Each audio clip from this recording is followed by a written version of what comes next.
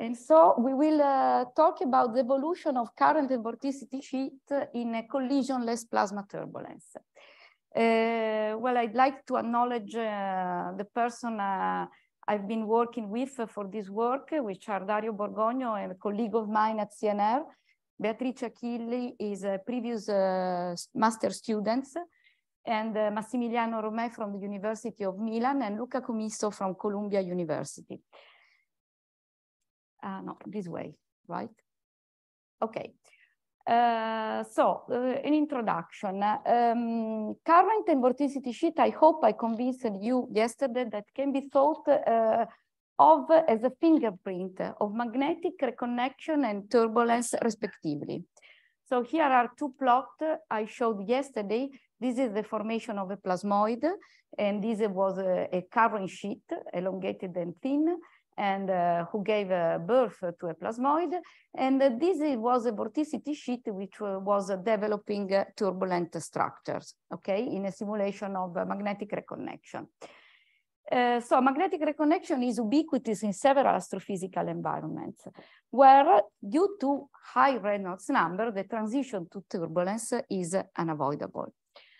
Uh, so in the presence of a strong turbulence, uh, magnetic field lines reconnection is continuously met along the flow because you have for you're forcing the magnetic field lines to get closer and closer and to reconnect. Both the processes, uh, magnetic reconnection and turbulence, involve energy cascades towards the small scale. So in some sense, we can say that the magnetic connection is an intrinsic element of turbulence uh, and of the turbulent cascade and vice versa. Uh, oh, I'm sorry that uh, it's not possible to see very well this uh, plot, but uh, let me say that many works have analyzed the turbulent cascade in resistive MHD uh, defining under which condition the plasmoid instability influences the energy cascade.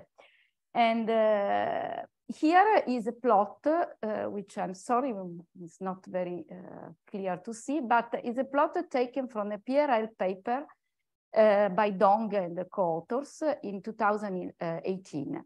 And uh, so they made a turbulence uh, um, sim simulation of uh, plasma turbulence or resistive plasma turbulence. And by this uh, uh, following and subsequent zoom, they were able to show that the structures that, that emerge from the turbulence cascade are generating plasmoid Okay, so here you see there is a smaller magnetic island, which is a plasmoid. So um, in, in, in, such a way, uh, inspired by this work, uh, we uh, decided to, uh, to look at the same problem, but in a collisionless plasmas, because collisionless plasmas are, most of the time, this, uh, space and astrophysical plasmas are collisionless, okay? So we analyzed the development of plasmoid in a turbulent collisionless plasma, where the reconnection mechanism is provided by the electron inertia and not by the resistivity. As I tried to explain yesterday, they, these two mechanisms can, uh, these two uh, uh, process can, uh, can give birth to magnetic island. And uh, we see that uh, actually we found a much more complex situation respect to the resistive case because uh, due to the presence of the strong velocity shear, the typical plasmoid formation has to coexist and compete with the Kelvin-Helmholtz instability, which I introduced also uh, yesterday, okay?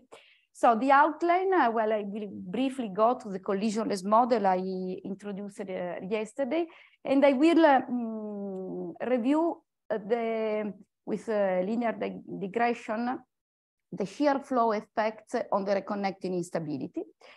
Uh, well, the numerical setup will be introduced, and then we will try to elucidate when the current sheet disruption uh, goes through the plasmoid instability or through the Kelvin-Helmholtz one. Um, we'll see how the energy cascade go in the plasmoid mediated turbulence regime, and we compare this theoretical prediction with the energy spectra. To conclude, a comparison with a resistive case will be uh, carried out. And uh, basically, this is uh, the outline taken by an, IP, an astrophysical um, plasma journal paper we published a few months ago on this topic. Okay, so the collision model, I will go very quickly uh, because it's the same I introduced yesterday, uh, the reconnection model. So this is the equation which comes from the generalized Ohm's law, where uh, just for uh, uh, the comparison uh, I will make in the end, I kept the inertia term here and here and the resistive term. this is the plasma motion equation. So the vorticity is related to the stream function, which is defined here and which goes the A cross B drift uh, velocity. And uh, here is the current density. And uh, the magnetic field is assumed to be uh, to have this uh, form. The equations are integrated by a numerical solver, Scope 3D, which is a, a solver for collisionless plasma equation and uh, it is uh, three-dimensional, uh, even though I will, uh, we just run uh, here in the two-dimensional case. Is a pseudospectral, explicit in time, and MPI parallelized code. Uh, so let's make let's recover what I saw, I told you yesterday about the Bickley jet instability. Okay, and we want to see the growth rate of the reconnection instability and the Kelvin-Helmholtz instability for a current sheet-like equilibrium. Uh, these things can be found uh, in the Biskamp book for the resistive case. I will show you how it goes in the collisionless case. So we have uh, a magnetic field, which is a, tangent, the blue uh, line, and uh, we have the Bickley jet, which is basically invisible, but is uh, given by the yellow line, which is goes like this, this, and then it goes like, like this. I'm sorry, it's not showing. Um, the uh, linear solution of this uh, model equation, assuming the equilibrium I have specified here, can give uh, even function, the so-called Kelvin-Helmholtz uh, instability, uh, where phi is even and psi is odd, and phi when in the pinch mode where phi is odd and the psi is even, okay? Um, in the case of an ideal plasma, the numerical solution of the linearized equation I showed you before uh, give a stabilizing effect of the magnetic field on both the classes of solutions. But uh, what happens when we have also the reconnecting instability, okay? The magnetic reconnection phenomena. Uh, so in presence of non-ideal contribution in the plasma Ohm's law, uh, this, the reconnecting mode are strongly affected by the presence of the shear flow. Here we have, uh, we have taken the parameter for the resistivity and the electron skin depth in such a way to have the same linear growth rate, which is shown here in uh, yellow and, uh, um, and blue. So the yellow is the um, collisionless case and the blue one is the um, resistive case. So and we linearized the system of equation before and we solved and uh, we carried out this, uh, the growth rate for uh, several modes. What happens with the effect of the shear flow? Okay, the combined action of shear flow together with the shear magnetic field in both the regimes causes a broadening of the spectrum of the unstable mode. You see, the red curve is uh, the resistive case and the green one is the collisionless case. So we have more, more unstable. There is an increase of the growth rate, okay? And there is a shift of the peak growth rate towards higher K or higher uh, mode numbers. But there are some difference between the two cases. And first of all, the spectrum of the, of the unstable mode for the collisionless case broaden less respect to the resistive case. The growth rates on the other side are much higher, okay? So there, uh, these results already suggest that in a turbulent collisionless environment, the reconnection instabilities will receive a boost respect to the resistive regime. So I ask you to keep in mind in back of your mind this picture because I will rely on this uh, later in um, later in, in uh, trying to interpret the results of our simulation. So the numerical setup is a, it's, a, a freely decaying turbulence problem as in the Dong paper. So we are solving the equation in this domain. And uh, for the collisionless case, uh, we took uh, the resistivity, we take the resistivity is equal to zero. We had um, an uh, artificial viscosity in the sense that uh, it is there for numerical reasons. And then this is the value of the electron skin depth, okay? Uh, we start the simulation with, with uh, 10 uh, times 10 uncorrelated equipartitioned psi and phi fluctuations in Fourier harmonics. And this is the, comp the composition.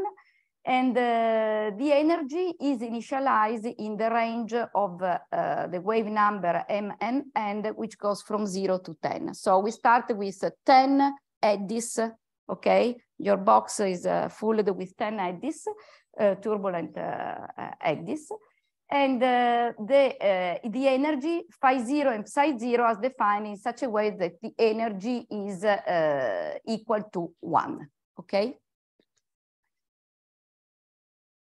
Uh, this condition, uh, why we choose this parameter, there is a reason, and this condition is convenient both to achieve early and adequate state of turbulence, and also to uh, have thin and elongated current sheet with a high aspect ratio, of order 200. So LCS is the length of the current sheet and DE is the electron skin depth, which is basically the width of our current sheet because DE is the smallest scale we have in our problem, okay? And uh, this uh, uh, condition has been shown to be necessary for the onset of the plasmoid instability by Comisso Sironi in this uh, in 2008 and 2000, uh, in 2019, uh, sorry, 18 and 19. So here is just an example of, uh, or, um, of how uh, the evolution of our system goes through time. And we have performed the numerical simulation with several resolution to make a convergent test, convergence test. And uh, mm, so in the following, I will show you only the highest resolution run we have.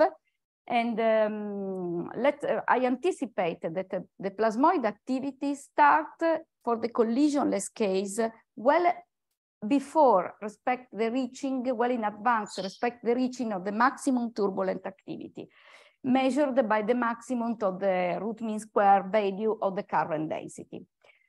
So uh, I am sorry for this. Uh, so maybe I can try to to close this light because it's impossible to see anything, uh, which is this. Well, not much better. I stay this like this, but uh, we have to work on the contrast of this. Ah, okay. Yes, if you can, uh, that's a good idea. Well, yeah, you can look here. I don't know.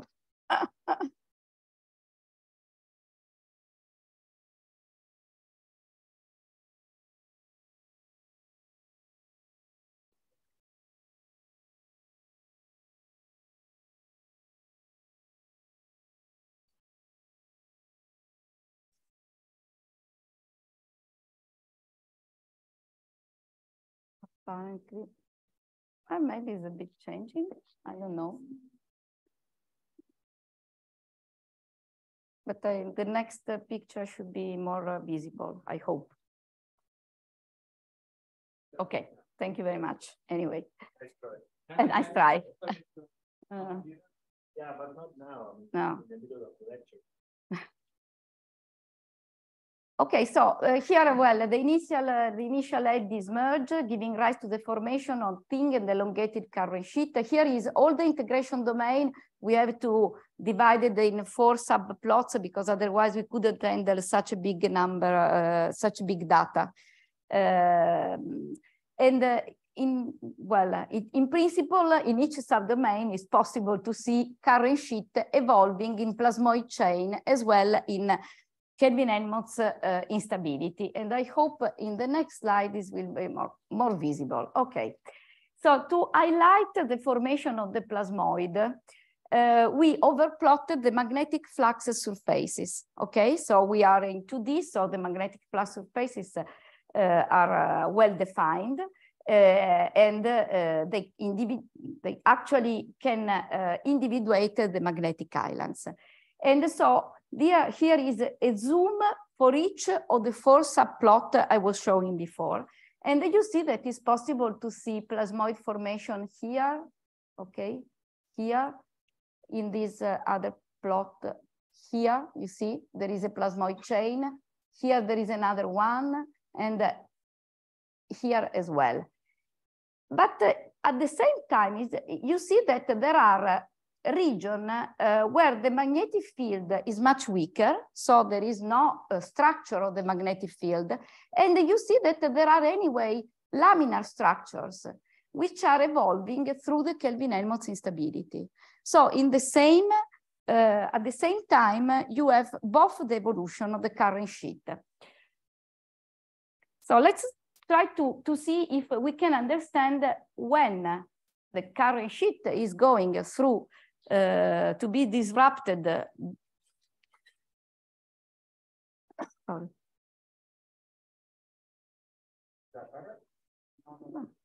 Yeah, I don't know. Ah. Oh, that's not brightness. That's contrast. Contrast, uh, because it's possible to see on the screen of the computer.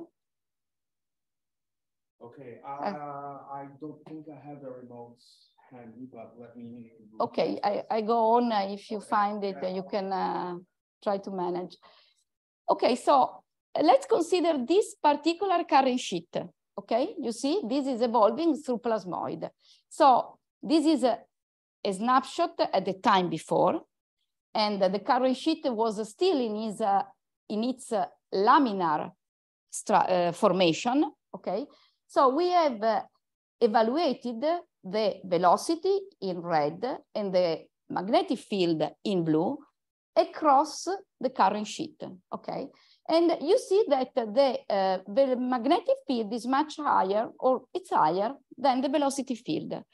A condition which I, I, I remember is stabilizing for the Kelvin-Helmholtz instability, okay? So the reconnecting instability is uh, um, uh, is favored by the fact that the magnetic field is higher than the velocity field.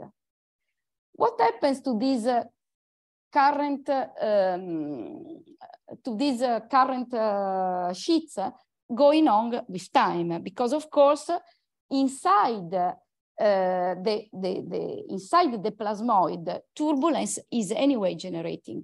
Okay, so um, in, the, in the case of the plasmoid chain formation, the turbulence is bounded inside the magnetic structures, okay? Where the vorticity and the current density exhibit small scale vortexes, okay?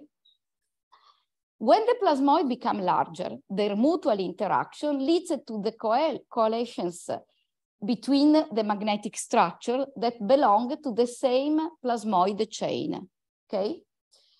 And this results in large turbulent regions where the magnetic structure eventually disappear. What I did, I, I don't know, it uh, may close by this, right? It's not. Uh... Yeah, thank you. Um, the magnetic connection between nearby turbulent region finally drive the appearance of macroscopic turbulent domains, okay? So uh, it is important to note that the Kelvin-Helmholtz dominated current sheets never show the plasmoid formation, okay? By um, just to tell you that in this case, I was showing the vorticity sheets because vorticity and the current density for this collisionless model behaves exactly in the same way, okay? So now let's go, if we can understand uh, which is the situation under which the, the current sheet undergoes the Kelvin-Helmholtz instability. So in the same subplot I was examining before, I am not now considering this structure, okay, this, uh, this current sheet. And again, this is the time before the current sheet, okay, at the time before he was, uh, he, get, uh, he got disrupted. And here are, again, the velocity in red and the magnetic field in blue across the layer. And in this case, we see that the velocity field is much higher than the magnetic field, okay? So in this case, the Kelvin-Helmholtz instability dominates. And the current sheet evolve directly into turbulent, turbulent regime. And as I, uh, I said before, this kind of current sheet never exhibit plasmoid formation. So they have, uh, there are two distinct uh, paths uh, along which they can go, uh, they can uh, develop, okay? Uh, so here is, again, the vorticity at a later time. So the vorticity layer start to develop the Kelvin-Helmholtz instability that leads to its complete disruption in many small vortexes. So this, the layer I have examined, of course, are just representative of the many ones that form and disrupt according to either the plasmoid or the Kelvin-Helmholtz instability, depending, depending from the relative magnitude of the magnetic and the velocity field.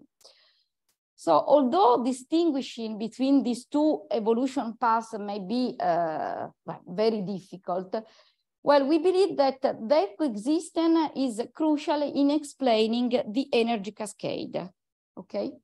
And I will try to convince you now about this. So here are the energy uh, spectra for the, the energy cascade for the resistive case, okay? So in the resistive regime, the onset of the plasmoid instability produces steepening, okay? The, this I'm, I'm not very good with the point, with this pointer. An E, okay, here, there is a, an E, um, uh, whose uh, um, uh, slope is given by K to the minus 2.2. Okay, this is the result of uh, Comisso et al. Physics of Plasma 2016. Uh, so K star in, uh, is uh, uh, the, the K at which the plasmoid instability start. In the collisionless case, we, uh, thanks to the collaboration with Luca Comisso, we, we made exactly the same calculations and we found that the steepening, the, the, the slope of uh, uh, the change when the plasmoid mediated regime should, is um, is developed has to go like k to the minus 3, okay, to the zero order. Uh, the plasmoid dominated regime in this case ends at the available scale length, which for us is given by the inertial scale, the collisionless scale, uh, skin depth. Please normal law, we saw that there is one scaling, but here we are seeing multiple scaling. So does it mean there are multiple scale at which the energy is injected? Does, does it mean that? Well, uh, multiple scale at which the energy is, is transferred because you inject the energy at the beginning at a large scale, and then you, you go through the turbulent cascade. But why different uh, powers? Well, here because this uh, uh, this uh, because there is a, a, new regime in which there are other instability which take over, which is the plasmoid instability. And the plasmoid instability affect also the turbulent cascade, okay? That's uh, the reason. And, um, okay. So let's see if we can recover this uh, k to the minus three spectra in our simulations. Oh, no, no, that's okay.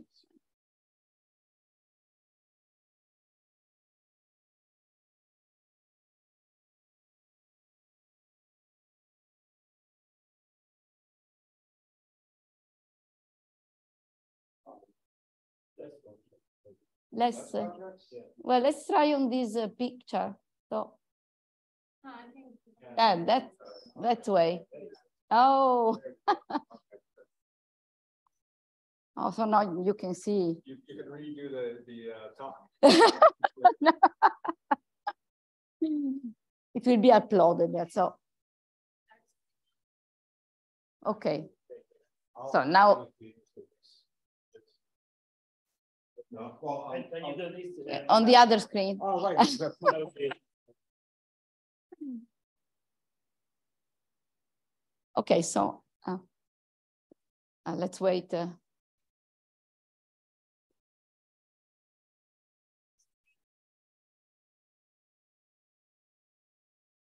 This one is not working. Minus. Oh, yes. Uh, you, here is not, a you can appreciate here. Yes, it is working. Okay. Thank you very much. Okay. Okay, I'll just leave it here, yes. Great. So here are the magnetic and the kinetic spectra, okay? Uh, for reference, here is the minus three uh, slope. And um, you see that um, we find smoother slopes than the theoretical prediction, okay? The magnetic energy spectrum tend to flatten consistently with the observation that the, the fully plasmoid mediated regime is somehow inhibited by the presence of the turbulent dominated, of turbulence dominated by the Kelvin-Helmholtz instability. Okay, so this is a, a, a difference respect to the resistive case, and I will show you this later again. And uh, the kinetic spectrum is uh, completely decoupled from the magnetic one and uh, is different. While in uh, resistive uh, uh, MHD turbulence, they goes together thanks to the collisions. Here, it's they have a different slopes, okay? And uh, indeed, while here you can recognize the presence of, the, of which is uh, due to the um, to the in to the developing of the plasmoid mediated regime, here you cannot see this uh, sign, okay? Uh, there is no need. And here is the comparison. So we here we run for uh, the 19,000 uh, resolution, the two cases uh, in which we, uh, we choose this value of the, the resistivity and we have no electron skin depth. And here is uh, the reverse, okay? So no resistivity and the electron skin depth. Uh, the structure, the structure are similar. You see, you, we have uh, basically the same structure. Uh, but resistive current sheet are less sensitive to disruption and evolve mm, following a laminar behavior, okay? While at the same time, you see that here you have already plasmoid and you have already evolved in, in a turbulent, in a completed turbulent regime. Um, and this is a big difference uh, because the number of plasmoid in the resistive regime significantly increases we, uh, as we follow the turbulence evolution and we get closer to the activity, to the turbulent activity peak. While in the collisionless case, the plasmoid start to form well before the turbulent activity peak.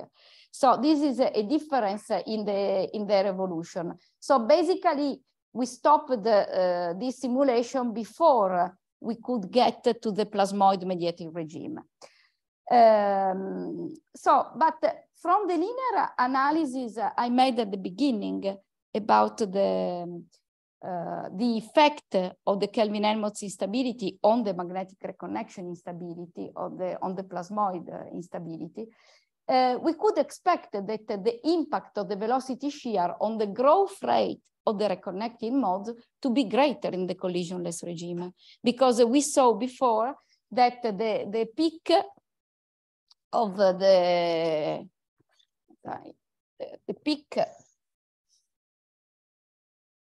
uh, it was basically something like this, okay? And then there was uh, for the collisionless and resistive uh, regime, they were uh, DE and eta, they were almost the same.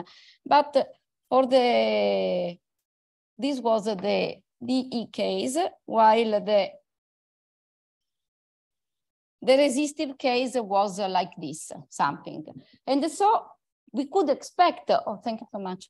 Uh, we could expect that in the collisionless regime, due to this uh, enhancement of the reconnection instability, we could expect that the uh, plasmoid started to form before, okay? Um, so uh, it, it was it is reasonable what we see. Um, and uh, the second uh, uh, difference, big, the big difference is that in the resistive regime, the current and the vorticity, vorticity sheet are not affected at all by the Kelvin-Helmholtz instability, okay? So uh, this is a, difference. They stay in the laminar structure until they evolve through the Kelvin, the plasmoid uh, um, instability. Uh, here is a comparison of the spectra, and you see the spectra, That we, we are not so close to the minus 2.2 uh, resistive spectra, but the reason is that we stopped the simulation because we could get uh, to the plasmoid mediating regime. I, I mean, uh, the, the results in the literature are, are uh, solid and we did, uh, we, we do not have to, we didn't have to check them but just to help us in understanding the difference with uh, what we were seeing, okay? Um, so plasma collision make, in the, you see that the kinetic and the magnetic spectrum are quite similar in the resistive case because there are collisions that allow the, the two spectra to evolve in the same way. Um, uh, so um, this is uh, what I wanted to say about this uh, slide. Okay, so conclusions, and uh, uh, and then I, I will show future perspective. Try to to to remember some of the things I told you yesterday. So this problem has been addressed, the, the problem of the, of the turbulent cascade in collisionless regime uh, has been addressed uh, for sure with a different perspective um, uh, from what is usually done in this field because we were focused on the um, on the magnetic on the structures and on the interaction between the magnetic and the fluid instabilities okay? Uh, so there was a question that was uh, a, in, uh, has no answer at the time we, we made this work. And the question was, do plasmoid form in collisionless plasmas? Yes, they do. And uh, the plasmoid instability de develops also in collisionless plasma under appropriate choice of parameters. So you have to make a choice of the parameter that allows you to, um, uh, to get thin and elongated current sheet uh, that has a, a, ratio of order LCS over DE of order 200 at least, okay? And uh, if they do, this is the second question, if the plasmoid form, how do they affect the turbulent energy cascade? So the energy spectrum of the turbulence in the plasmoid mediated regime has a different slope. And most uh, importantly, the magnetic and the kinetic spectra are decoupled, okay? So they have a different uh, behavior. And uh, how do the plasmoid interact with the Kelvin-Helmholtz instability? Well, the plasmoid instability is enhanced by the presence of shear flow, okay? Okay, so future perspective. Well, Uh, yesterday we saw the generalized Ohm's law with many terms. And one of these terms was related to the ion sound Larmor radius, which is related to the pressure gradient in the uh, energy, in the um, generalized Ohm's law. Uh, so um, trying to uh, to put uh, more ingredient in this uh, in this framework and trying to still relying on the fluid model, which are more tractable for many reasons, it is possible to take into account also the scale length, okay, which is bigger than the electron skin depth, okay, and so it will be, in, in our opinion, uh, our next step is uh, to put this ingredient into the uh, into these uh, turbulent, stud turbulent studies. And we, we already make the linear analysis. So I give you just uh, uh, the flavor of what's going on. And so this is the, just the plot I made. I, well, I try to, to make again on the, on the blackboard uh, collisionless resistive case and uh, uh, resistive a collisionless case with Kelvin-Helmholtz instability. And um, here in, uh, uh, in the dashed the black line, these uh, are the, the growth rate for the collisionless reconnection rate in presence of ion sound Larmor effects. And in the solid line is what happens to uh, when we add the we we put on uh, on this um, on top of these uh, shear flow instabilities, and you see that uh, the well uh, the spectrum of the unstable mode grows uh, much more than before. Okay, and then there is a suppression in this area. So, uh, well, it will be interesting to see how this uh, uh, strange behavior will affect the turbulent cascade. We, we have to, to address this problem. And uh, the second problem uh, we are interested in, of course, is to go to three-dimensional uh, simulations and three-dimensional effect. Well, from the physical point of view, it will be really interesting to have turbulence and magnetic chaos.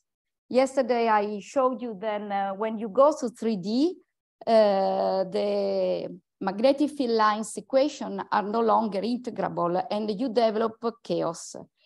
So what's going on? Uh, I don't know, and but uh, we believe it will be a very interesting uh, topic uh, to see how the interaction of the turbulent motion with the turbulent magnetic uh, field, uh, with, where this will drive us.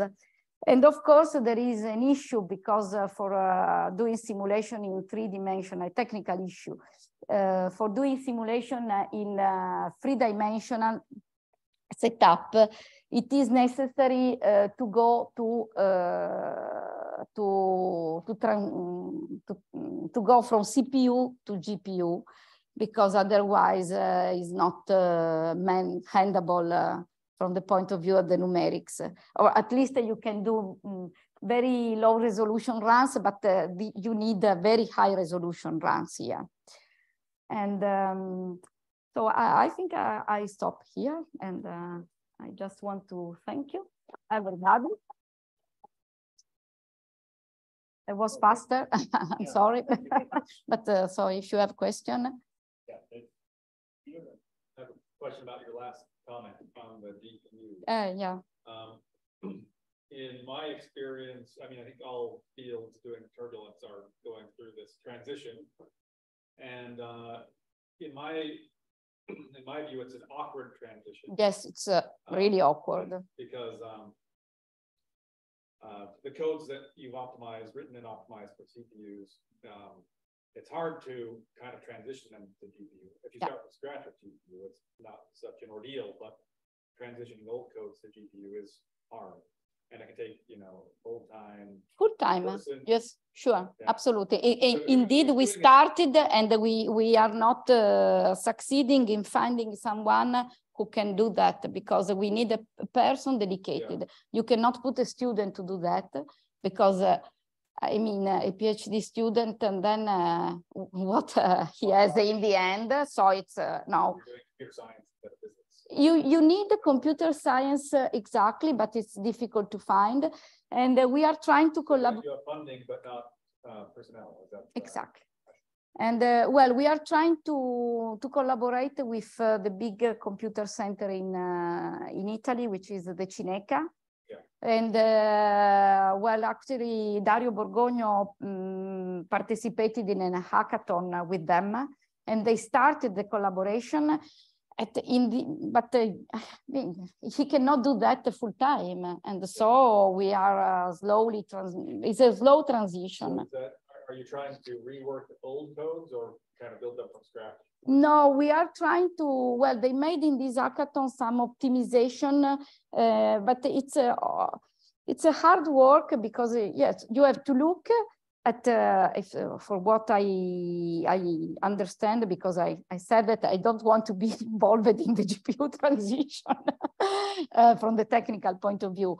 But uh, uh, basically, uh, they have to look at all the communication and to understand where the communication uh, are uh, low and why they are low. So it's a, uh, it's a, and then there are many, it many. is, you are taking an old code and trying to. Yes, we are taking the old code, which, uh, yes, which is old, but it has been renovated so many times, so it's not so old, but uh, yes, it was written for CPU for sure. And then, uh, you know, I, we have, um, we received many, many uh, invitation from the Cineca for uh, quantum computing uh, uh, courses and uh, experiences. So I'm wondering, do we really need to, to go through GPU and then uh, we will be asked to go to quantum computing? I don't think so. no, I don't know, but uh, that's a joke. But uh, uh, the, it's a it's a field which is going fast. So it's a, if you don't have full time people to work, uh, you you you uh, you lose the train. And you have to think already of the next uh, generation. I don't know. because of all the work that people has done for the message passing Yeah. techniques for Yeah. running Yeah. a cluster has to be Yeah. really, really Yeah, I- done. I, kinda- I kind of feel like, um, the MPI CPU era was okay. You know, Yeah. you could be a physicist and learn that. Exactly. as Part of your toolkit. Exactly. That's I I, I The stopped CPU there. era, That's not the case anymore. No. You really have to be multidisciplinary. You Yeah. need Experts in this area working with physicists. Yeah, it's uh yeah, it's difficult. I agree. There was a question Uh, over there. Thank you for asking talk. Uh, I just want to know how the plasmoids are driven. I mean, the driving, the driving force. The driving is the electron skin depth or the resistivity because it's a, the plasmoid is a magnetic instability. And uh, so it is uh, driven by or in, in this case, res- the resistivity or the electron skin depth scale length. Okay, that's the, the, the mechanism which uh, breaks the frozen in condition. Okay, that's uh, uh, the thickness is of order D, of this electron skin depth. Well, uh, in a tokamak, I would say it's uh, two centimeters, uh, probably something like that. And of course, if you go to astrophysical plasma, it's uh, much, uh, much greater. Don't make me to, to, to say numbers now because I could be wrong. okay, you're welcome. More questions? Comments? Uh, Maybe what is exactly is magnetic chaos? Uh, well, this is something I, I, I if I can. I have the time, I can put uh, the other uh, presentation so, so I can show you Uh, you magnetic field lines, uh, as if it were time, then they tend to diverge exponentially fast. That, that's what chaos is. If Okay. time, Yeah, that- that- that's, uh, okay. So here um, is an, an idea of. Uh, no, no, no, I was wrong. Sorry. Where is here? Okay. Um, okay, so in um, th- these are the equation of motion. So this uh, system can be um, the equation of motion for the magnetic field line, okay? So when you have uh, the third dimension, which can play the role of uh, the time. So at fixed time, Z can, can play the role of, um, of time for the, for the magnetic field lines. Okay, so this equation, if uh, there is a Z dependence, of course, are not integrable. Uh, the, huh? Mil, which, which equations they are? Do you recognize them? Huh? Hem. That's why. So these are the Hamilton equation, okay?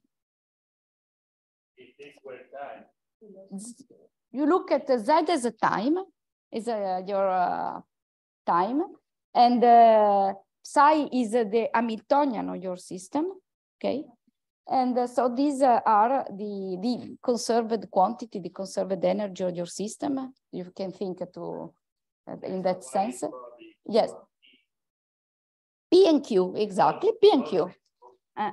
Uh, and uh, so these, uh, so you cannot integrate them or you, you see, since uh, as far as the, you have, in this case, it was two magnetic islands at the beginning, okay? So as far as you can consider them as uh, linear and so not, not interacting, you can uh, visualize the two magnetic islands. But when they start to grow and to overlap to become uh, closer, so there is a, the Chirikov criterion, which says that if the magnetic islands overlap, they develop chaos, okay? And here you see there is a developing of chaos, which start from the first the most unstable magnetic surface, which is the separatrix of the magnetic island, and then chaos develops all in all uh, the domain. So uh, back to the, the question I was interested uh, in uh, as a further work, so what I showed to, I've shown today is, uh, okay, in, in such a kind of situation where uh, we know that there are also hidden structure in this uh, magnetic, magnetic chaos. Uh, so what happens if we have also a turbulent fluid? This is our, our goal, final goal.